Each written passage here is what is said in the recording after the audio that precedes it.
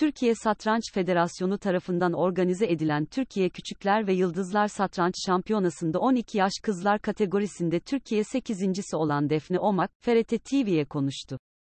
Fethiye Merkez Atatürk Ortaokulu'nda 6. sınıf öğrencisi olan Defne Omak, antrenörü Gökçe Mermer ile birlikte Fethiye'ye derece ile döndü.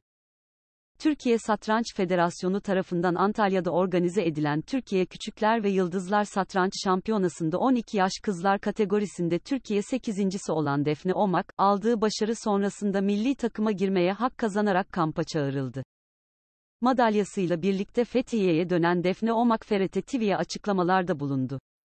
Ee, Türkiye Şampiyonası'nda milli takıma girdim. 8. oldum. Ee, Antalya'da oldu. 3 senedir hazırlanıyorum. 3 3. sınıfta başladım satranca. Derslerimde çok katkı sağladı. Seviyor musun satranç oynamayı? Evet çok seviyorum. Ee, Pandemide çok çalıştım.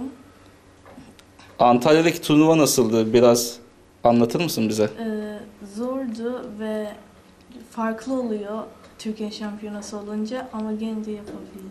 İlerleyen zamanlarda hedeflerin neler peki? Daha çok turnuvaya katılacak mısın? Daha yüksek dereceler yapmak istiyor musun? Evet, yapmak istiyorum. Sonraki hedefim birinci olmaktır. Turnuva hakkında neler söylemek istersin? Ee, turnuva bir hafta sürdü. Orada değişik arkadaşlıklar yapabildim. Güzel miydi Antalya senin için? Fethiye'den gittin oraya. Ee, evet, çok güzeldi. Or- orada binin üstünde insanlar vardı. Güzel bir başarıyla Fethiye'ye dönmüş oldun o zaman. Evet ve başarımı için seviniyorum. Geçmişte aldığın derecelerden bahseder misin?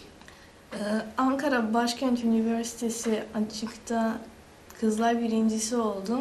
Denizli Barosu'nda iki, iki kez birinci oldum. Bir de Muğla 12 yaş kızlar grubunda il birincisi oldum.